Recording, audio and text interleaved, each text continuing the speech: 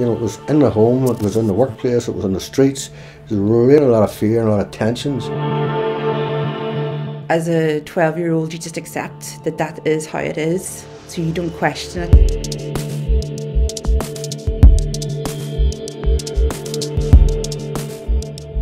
I seen kids throwing stones and bottles, and I thought, Lord, all the say to them, do they realise what's going on? Do they realise if bigger people came here, the consequences of it? Somebody shot some more child or some child going for a bottle of milk could lost their life because of this. I felt very frightened and nervous, uh, and I felt, you know, am I a fool for putting myself out? And I just thought, I'm not, I'm not having it. I'm not having my life, my neighbours' lives, or their houses being put at risk. Simple as. I had to get involved some way. I maybe felt unsure that what I was doing was the right way, but I, I had to do something.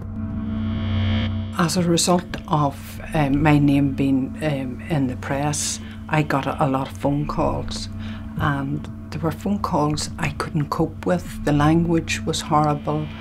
Uh, just saying what they'd do with me if I went ahead with uh, these meetings.